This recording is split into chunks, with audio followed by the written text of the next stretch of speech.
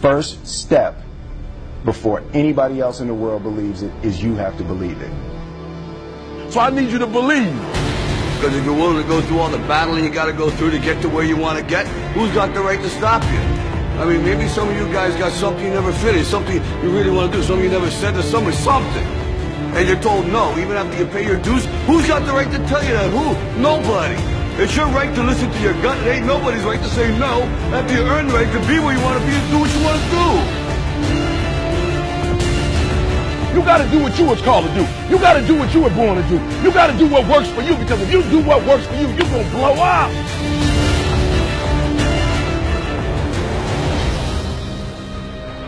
It's in your DNA. It's who you are.